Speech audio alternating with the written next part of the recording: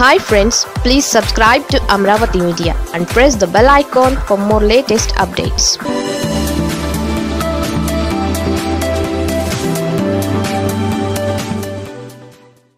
గంటాకు గేట్లు మూసేసి ఒంటరిని చేస్తున్న వైసీపీ.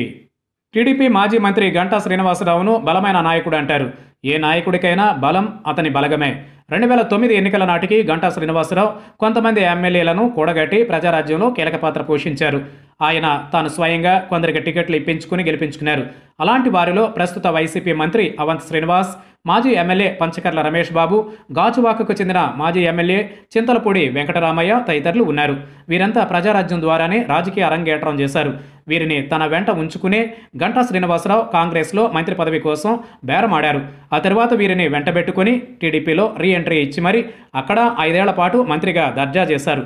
అయితే రాజకీయాల్లో బంధాలన్నీ బలహీనమే. తన వారు అనుకున్న వారు ఏదో రోజున దూరం అవుతారు గంటా శ్రీనివాసరావు తాను మాత్రమే ఎదుగుతూ అనుచరులను మాత్రం వాడుకుంటూ చేస్తున్న రాజకీయాన్ని మొదట పసిగట్టిన వారు అవంతి శ్రీనివాస్. పైగా గంటా శ్రీనివాసరావు తన రాజకీయం కోసం సీట్లను అటు ఇటు మార్చేస్తూ అనుచరులకు తీరని అన్యాయమే చేశారన్న విమర్శలు ఉన్నాయి.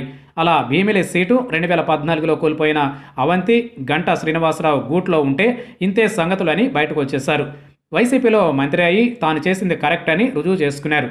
ఇక విశాఖ రూరల్ జిల్లా టీడీపీ ప్రెసిడెంట్గా పనిచేసిన పంచకర్ల రమేష్ బాబు నిబద్ధతతో కూడిన రాజకీయమే చేశారు.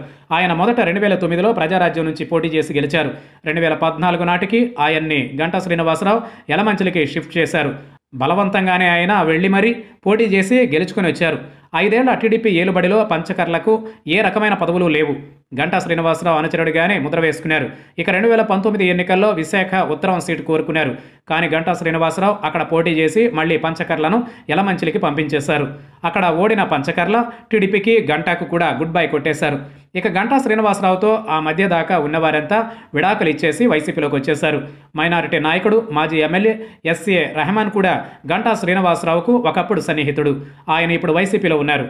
అలాగే గాజువాక నుంచి ప్రజారాజ్యం తరఫున గెలిచిన వెంకటరామయ్యను పట్టించుకోకపోవడంతో ఆయన ఎప్పుడో వైసీపీలో చేరిపోయారు. ఇప్పుడు పంచకర్ల వంతు. ఆయన కూడా వైసీపీకి ఓటేశారు. ఈ పరిణామాల నేపథ్యంలో మరింత మంది గంటా అనుచరులు వైసీపీ వైపు చూస్తున్నట్లుగా బోగట్ట. గంటా శ్రీనివాసరావుకు వైసీపీలో నో ఎంట్రీ అని తేలిపోవడంతో వారంతా అధికార పార్టీలోకి దూకేస్తున్నారు. ఇదే వరుసలో మరి ఇంతమంది మాజీ ఎమ్మెల్యేలు తాజాగా ఒక ఎమ్మెల్యే కూడా వైసీపీ బాట పడతారు అంటున్నారు. ఇలా అందరూ వెళ్ళిపోతే గంటా శ్రీనివాసరావు ఒంటరే అవుతారు. చూడాలి మరి ఏం జరుగుతుందో.